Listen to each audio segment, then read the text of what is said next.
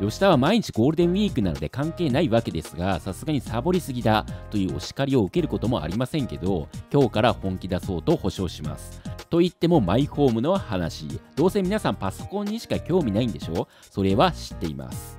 知っているんだけど、吉田が一番興味あるのはマイホーム。見ている人は全く興味ないんだろうけど知るか。俺様は家の話がしたいんだ。吉田です。1億円のマイホームを作るとか悪ふざけみたいな動画時々出していましたが現状どうなっているかというとマジでマイホームの建築を進めています。冗談だと思っている人たくさんいるようですがマジです。マイホームといえば住友林業一条工務店大和ハウス積水ハウスタマホーム飯田グループ。大手ハウスメーカーで建てる人が多数派だと思いますが吉田はこだわり派。ハウスメーカーのような既製品を買うつもりは一切ありません。ロマンを追求して地元の工務店。ハウスメーカーならあれはできないこれはできないこれはオプションだ。いろいろ制約があるわけですが地元の小さい工務店なら何でもありです。マジで何でもありです。できないことなどありません。金さえあれば。吉田はニートです。膨大な時間を費やしてついに間取りがほぼ完成しました。まだこれで建築できる。という回答は出ていませんが大まかには問題ないはずです。予算的にもオプションつけるくらいの余裕は全然あります。今から吉田のマイホーム案の最終案をお見せしますが細かいことは気にしてはダメですよ。屋根の形が変だとか色がダサいとかツッコミどころはあるんですがこれはソフトの限界です。家を建てた人なんてたくさんいるでしょうから私はアドバイスが欲しいんです。こうした方がいいよとかコメントがあればぜひお願いします。まず吉田が最も重要視するのは要塞感です。外から全く中が見えない。これが一番重要なポイントです。まあ普通の人だったら開放感があるリビングがいい、明るいリビングがいい、リビングに巨大な窓をつけたい、皆さんそう言います。本当にバカでかい窓をリビングにくっつけていいんですか？開放的でいいんですか？私はそう思いません。丸見えです。恥ずかしいです。カーテン開けられません。フェンス立てればいいだろうとか思うかもしれませんが、仮に2メーターのフェンスを立てても外から丸見えです。なぜなら通常家は50センチくらいの基礎の上に立っています。2メーーのフェンスを立てたとて、窓の1.5メーターくらいしか隠れません。しかも車の中からだともっと丸見えです。フェンスで目線を隠す、それは無理があります。あとフェンスってめちゃくちゃ高いです。2メーターのアルミフェンスって1メーターで何万円もします。通常はしょぼいのしか建てられませんよね。これはね、家建てた人だったらわかると思うよ。しかもフェンスを建てたら開放感なくなります。本末転倒。だから吉田は建築士に言いました。3メーターのコンクリート塀を建ててくれと。絶対に絶対に中が見えないようにしてくれと。しかも杉板型枠 RC で。いや、ちょっと待て。それは無理がある。と言われました。ジョインそんなやり取りがあって最終案では中庭プランになりました。もちろん吉田も中庭にすれば目線が隠せることは知っています。でも YouTube にある建築士たちの動画を見るとなるべく真四角にしろだの総2階建てにしろだの変な形は絶対ダメだって強く言っているものがほとんどです。知っています。中庭とか作るとコストがバカ高くなるし壁が増えるので寒く暑い家になりますだから吉田は中庭なんてロマンだけであって実際は作れないんだろうって思い込んでいました。でも実際はそんなこと全然ありません。余裕でできます。しかもよくわかりませんが、吉田が頼んでいる工務店は、なんか知らんけど、どんな形状でも値段一緒です。中庭だろうが、この字型だろうが、三角だろうが、四角だろうが、価格なぜか一緒。コストが高くなるって工務店側の都合じゃねえかよって思いました。知るかといっても中庭は最小限ですけどね、豪邸のような巨大な中庭憧れますが、土地が70坪くらいしかないので、あまりにもでかいのは不可能です。中庭は10畳しかないので、ちょっとしょぼいっすけどね。ちなみにこの中庭プランなら隣の家や前の家の2階からもリビングは全く見えないと思います夏の日射を遮るための 1m くらいのね軒が出ているのでそれのおかげで見えませんパンツ一丁で家の中を歩いていても安心ですわかりますよ、突っ込みたいことは想像がつきます。水没するだろうって。まあそのために40万円もの排水設備の課金が必要です。40万だったか20万だったかもしれん。業者曰く中庭が水没するレベルの洪水なら道も水没してるから一緒。まあなるほど確かにそうだなって思いました。ちなみに玄関周りですが階段状になっていますよね。実際にこうなるかは別としてこういう感じで階段になります。これは洪水対策で基礎を約2倍の 1m にしているからです。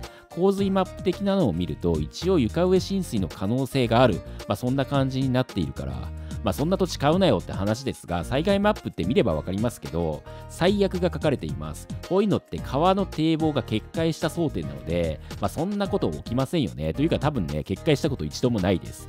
というか多くの土地が何らかの災害が予測されています。気にしていたら土地なんて買えません。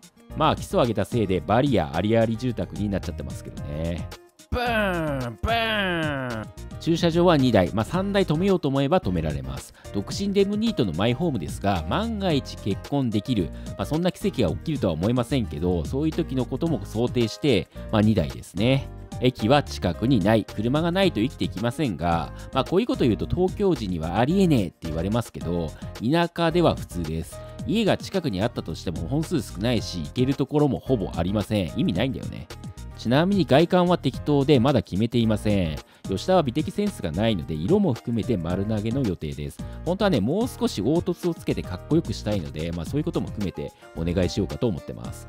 屋根は標準がガルバリウム後半で、まあ途端の現代版ですね。安くてメンテほぼフリー、うるさいダサい最強は昔ながらの瓦だと思いますが、めちゃくちゃ高いので、まあガルバでいいやって思ってます。外壁が一番悩んでるかな。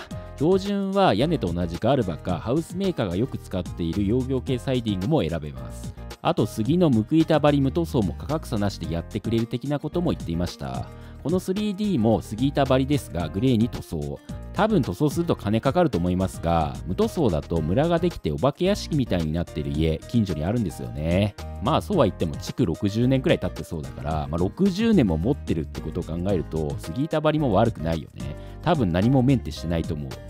まあ無難ならガルバ。勝負仕掛けるなら杉板。ただね、近所で杉板の新築見たことありません。かなりロマン、勝負。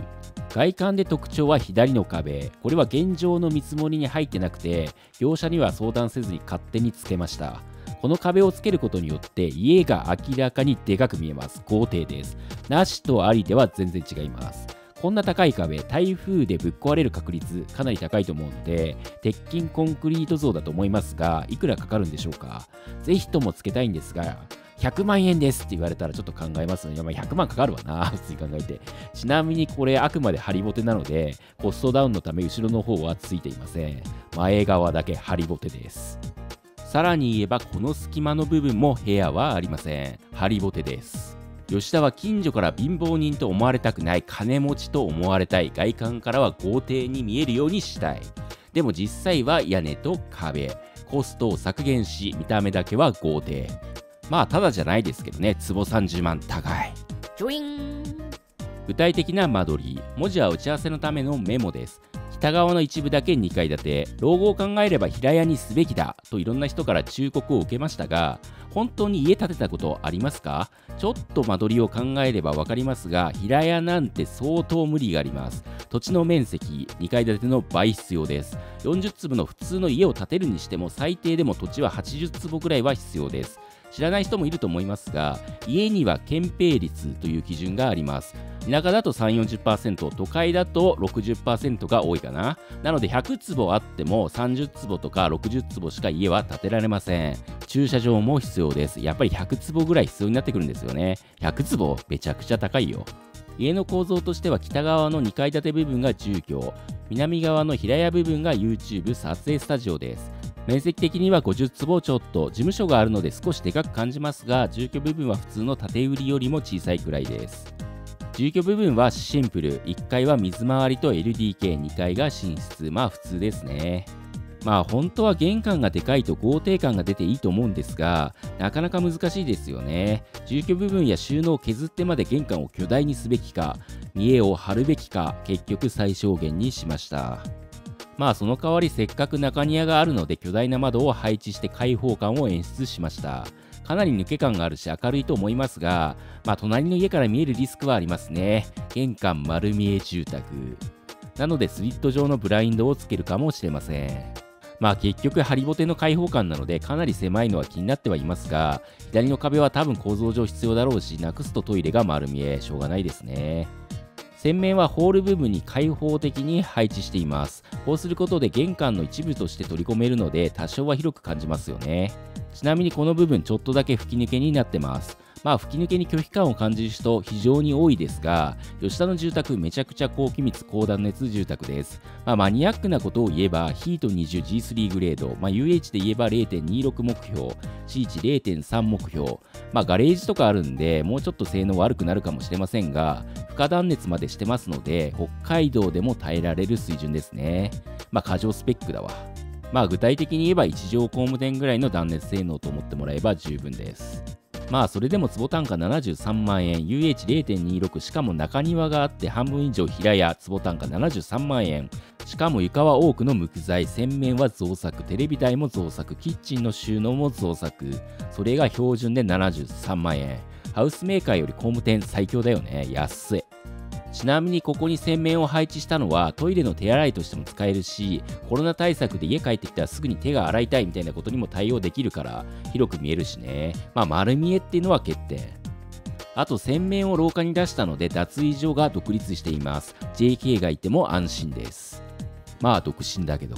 あとファミリーはいないけどファミリークローゼットを近くに配置。洗濯機の近くなのですぐにしまえるし、吉田の計画ではここで部屋干しして乾いたら端っこに寄せておけばいいかなって思ってます。独身だからね、ファミリーだけど。一応脱衣室から豪邸に見せかけるためのハったり部分に出られます。この家ベランダがないので外干ししたければここに干せる構造にしています。家事動線は完璧、その代わりキッチンは遠いですけどね。まあ最近は家事楽ぐるぐる動線ってのが流行していて水回りをぐるぐる回れる構造が人気みたいですが本当にそれでいいんですか？ぐるぐる動線ってドアや廊下が増えるので面積効率悪いですよ。そんなに1日何回も洗面室に行きますかね。乾燥機使えばよくないですかね。ぐるぐる回遊動線を潰して収納増やした方がいいんじゃないですか。というか洗面室よりもトイレ行く回数のが多いよね。トイレのが近い方が良くないですか？ってすげえ思います。あと単純に脱衣室に入り口が2箇所あるってのダメじゃね？特に JK がいる場合はどっちからも入られる可能性がある脱衣室とか無謀すぎるよ。風呂は宝スタンダードのプレデンシアを検討しています。芋の放浪浴槽。浴槽が鉄でできています。高級ホテルにも使われている放浪浴槽です。当然死ぬほどクソ高いんですが、吉田は風呂好きなので、ここだけはこだわります。あとカウンターとか棚とか窓とか鏡とか全部つけません。宝の浴槽は壁に磁石がくっつくのでそれで対応。まあ、トートとかもくっつきますけどね。凹凸は最小限、それ重要。色は白系、黒とか水赤、目立ちすぎ、アホです。ちなみに標準は TOTO のサダナです。日本で一番売れているのはこれらしい。床が柔らかいほっからり床が有名ですが、ちょっと強度心配ですよね。ちなみに宝はタイルです。ガチモンの磁気タイル。高級感はめちゃくちゃありましたよ。まあ宝があまりにも高額なようなら TOTO の標準品にするかもしれません。その場合は浴槽を FRP から人工大理石にアップグレードすると思います。多分宝のやつね、60万、70万円高いと思う。トイレは TOTO のタンク式が標準ですが、パナソニックのアラウの V 一番安いやつですね。これに変更しようと思っています。これめちゃくちゃ安いんですよね。8万円くらい。まあ見積もりしていないので分かりませんが、そんなに差額出ないんじゃないかな。高かったらやめますけど。このアラウの V 安いんですけども、タンクレスなのにウォシュレットが外れます。しかも汎用設計、TOTO でもリクシルでも東芝でも、どこのメーカーの便座もつきます。ウォシュレットこの前ぶっ壊れたばっかなので、交換できるってのは重要ポイントで魅力に感じます。他社のタンク式、合体しているので交換できないです。しかもね、2、30万するし。ジョイン正直言って引きこもりデブニートにはリビングなんて必要ありません。パソコンの前で一日中座っています。だからいらないわけですが、リビングがない家とか意味わからないので、一応つけておきました。0.1%の確率で結婚できるかもしれませんから。実は提案された間取りはもっと壁があったんですが、あまりにも鬱陶しかったので、勝手に全部壁をぶち抜きました。構造的に成り立っているのか不明なので、現在確認中です。一応邪魔くさい大黒柱を3本も立てておいたので、許してくれることを願ってます。まあ吉田は豪邸感を出したいんですよね。豪邸感、それは開放感。壁なんていりません。収納も極限まで減らしました。というか収納全部取っ払ったわ。なぜならリビングは使わないので収納いりません。この空間は見た目だけ、舐められないために貼ったりです。中庭にウッドデッキ的なものを貼ったりで設置すれば、さらに広く感じることができるでしょう。ただこのでかい窓、死ぬほど値段が高いです。標準で付けてくれるかは不明、課金かもしれません。このテレビ85インチです。死ぬほど高額です。一番安いソニー製で40万。しかもテレビなんて吉田は見ません。でもテレビがないとダサいんですよね。はったりをかますにも金がかかります。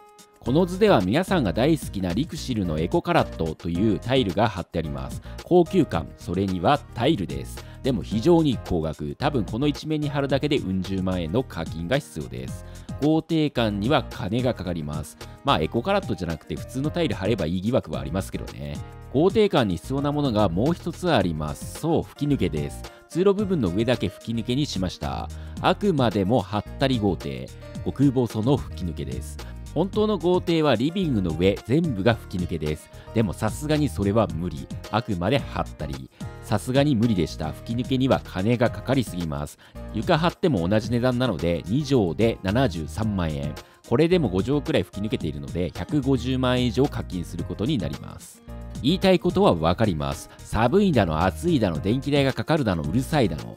本当ですかそれって。あなたの家の性能が悪いだけじゃないですか性能が良ければ吹き抜けがあっても大丈夫じゃないですかまあそういうことですね。まあうるさいのは間違いないと思います。どう頑張ったところで明らかに遮音性は落ちますが、吉田は独身デブニーと関係ないんですね、そういうことは。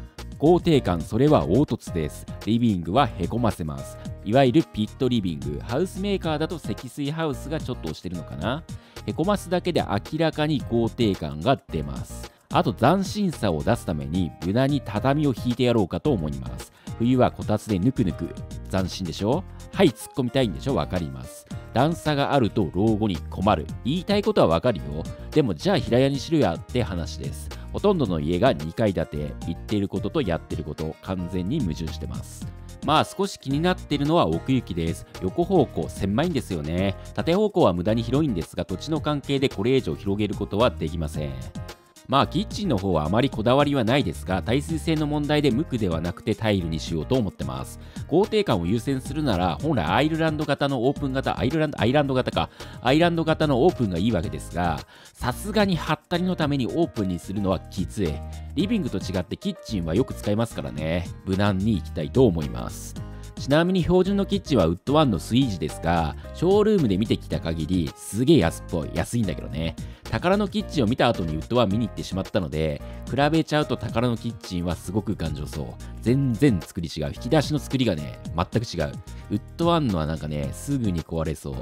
風呂が宝だからキッチンも宝で揃えたかったんですが、宝スタンダードのキッチンは標準で海外製食洗機が入れられません。パナソニックです。嫌ですよね。ドイツ製がいい。まあ、クリーンアップが無難な気はしますが、おもろくねえよなと思って、サンワカンパニーのグラッド45、超絶マニアック YouTube 上にレビュー動画一切ありません。オールステンレスキッチン、業務用キッチンっぽくて好きです。国産みたいですね。価格的には宝のトレーシアと同じくらいか、ちょっと高いくらいかな。海外製食洗機入ります。ガゲナウンの食洗機も選べますし、皆さん大好きミーレも選べます。まあ、40万もしますけどね。デザインは悩んでいますが、せっかく工務店で建てるので、キキキキキキキキにしたいと思ってます。ハウスメーカーのようなトゥルンとしたおしゃれでかっこいい感じにするのもいいんですが、家具の選定にミスると一気にダサくなりますよね、あれって。吉田センスないんで家具の選定無理です。この内装であったら簡単です。ナチュラルな木の家具を選べば間違いありません。センスがなくてもおかしなことにはなりません。まあこだわりポイントとしては新壁で漆喰か珪藻土の塗り壁にしようと思っています。豪邸感にパチモン臭のする壁紙合いません。アクセントクロスダサくない白のがマシじゃねって思ってます。まあ課金が発生するんですけどね。いくらかかるかは分かりません。まあこのデザイン相当好みは分かれると思います。多分結婚してたら無理じゃないかな。奥さんに反対されそう。可愛くはないですからねこれ。まあ吉田は独身デブニートを自分で全て選べるので好き勝手やらせてもらいます。床下エアコンはとりあえずここに設置。本当にここでいいかは分かりません。とりあえずですね。2階はあまりこだわりはありません。約6畳と4.5畳の2間。でかい家だなとか持ってるかもしれませんが、寝室部分を狭くして、他を広くしているだけ。まあ寝室は狭い方が落ち着くんで4.5畳で十分ですね。左の予備は万が一結婚した場合に奥様用の寝室想定。吉田は1人で寝たいので部屋は別がいいです。まあちょっとしたこだわりとしては2階にもトイレと洗面をつけました。冬になると喉がやられるので加湿器を使いたいから。なので水を汲むために必要。できれば水入れやすいように深めのがいいですね。ちなみにトイレはウォシュレットをつけていません。ウォシュレットレス。うんこは1回。ちなみに吹き抜けのところは無駄にスペースを空けてあります。フリースペース。吹き抜けが細すぎるので、ここを開けておかないと微妙なんですよね。壁だらけの吹き抜けって微妙すぎます。一応ここは動画で作った作品を展示するスペースにしようと考えています。最悪は吹き抜けを潰して4.5畳の部屋を作れるように作ってもらおうかなとは思ってますけどね。子供ができる可能性はほぼないと思いますが、最悪できてしまった場合は子供部屋に改造できます。あとは書斎的に使ってもいいかも。まあ日当たりが良すぎるので眩しい可能性は高い。窓の掃除のためにキャットウォークをつける予定でしたがやめました。この細い吹き抜けにそんなもんつけたらほぼ吹き抜けゼロ。くっそ長い吹き抜け用掃除用具もあるみたいなので、それで十分かな。はしごは外に出るため、一応軒の上に立てるようにするので、汚れがつきやすい外側は拭けます。危険かもしれんけど。ジョイン残りは事務所スペース、動画が長すぎるのでサクッといきます。LDK の横にパソコン部屋があります。中庭プランだと廊下が無駄にできやすいんですが、それを解決するために廊下兼収納兼書斎にしています。これいいでしょ ?6 畳もあるので寝室よりもでかいんですよ。俺様のスペースはでかく、これ重要。無駄に手洗いスペースまで付属、病院用シンク SK106、あとパナソニックのキッチン用自動水栓もつけてます。無駄に合成。吉田のスペースは金を投入。まあ撮影で水栓使うことあるんで必要なんですよね。ちなみにこの引き戸は簡易防音ドア。ナレーション入れないといけないので簡易的でも防音にしたかった。本当はね、引き戸じゃなくて、開き戸の方が防音性高いんだけど、やっぱり使い勝手を優先したかったです。あと鍵はつけます。鍵重要だよね。男のロマン、鍵。あくまで妄想ですが、ここに杉板を貼りたいです。いくらかかるのかわかんないので諦める可能性はありますけどね。まあ自分で貼ってもいいかも。ただ窓周りの処理がね、難しいからね、自分で貼ると。小便器まであります。完璧です。しかも業務用の高いやつ。大便器よりも値段が高い。約20万円。高級です。言いたいことはわかるよ。本当にそれ必要なのか、掃除がめんどくさいんじゃないか。言いたいことはわかる。でも、小便器男のロマンでしょ。いるよ。あとこの先はただの撮影部屋ですね。ここら辺は会員仕上げにしてもらって、ただの部屋にする予定。特に何も工夫はありません。あとは自分で作り上げていく、そんなことを想定しています。一応壁にあの補強だけ入れてもらおうかと思ってる。釘が打てるように。ドマスペースのビルトインガレージに行くための階段がここにあります。基礎高 1m もあるんで、階段がないと降りられないんですよね。スペースがもったいないので、通路の一部は収納にする予定です。可動だな。あと事務所のスペースの床は全面磁気タイル張りです。さすがに無垢材のフローリングではボッコボコになりそうなので、多少冷たくても強度優先。P タイルは嫌、磁気タイル。そこは譲れない。割れるって言いますけども、小さくて分厚いタイルなら割れないでしょう。割れるのって1枚がでかくて薄いやつだと思います。ビルトインガレージも特に何もないです。ただの空間です。水栓とオーバースライダーの機密シャッター。通常ガレージは断熱しないことが多いみたいですが、ここは他の部屋と全く同じ断熱です。無駄に負荷断熱までしてあるガレージ、高級仕様。20畳くらいあります。この大空間を特に壁とか柱なしで作れるらしいですね。平屋だから。玄関にもつながっているのでぐるぐる回れます。一応ここは木工とか溶接とかをやろうかなと思って作ったんですが、別に車を入れる予定はないです。まあかなり広いので車の整備もできますけどね。あとこのドアは窓サッシにする予定です。一応断熱はされていますが、住居側とは完全に切り離したいと思ってます。ちなみに壁は OSB 合板張りっぱの予定。雑に扱えるように。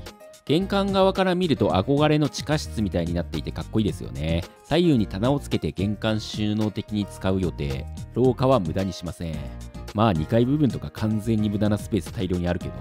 で、これは宅配ボックス、造作で大工さんに作ってもらえないかなと思っていますが、まあ無理なら外に置こうと思います。宅配ボックスって気がつかないこと多いんですよね。だから窓サッシにして見えるようにしたい。もちろん肩ガラスにして半透明にしますよ。ただ内開きの窓サッシってあまりやりません。国産だといわゆるドレーキップ窓というくっそ高い窓しか存在しないんですよね。1枚5万円くらいするのでドアだけで10万円。